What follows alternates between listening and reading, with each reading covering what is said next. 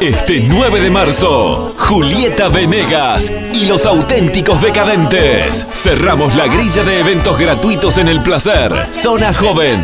Desde las 21 horas, vení a disfrutar de dos shows imperdibles. El placer. Zona Joven. Espectáculos gratuitos en los que invierte la Intendencia de Maldonado para el pueblo de Maldonado. Construyendo futuro.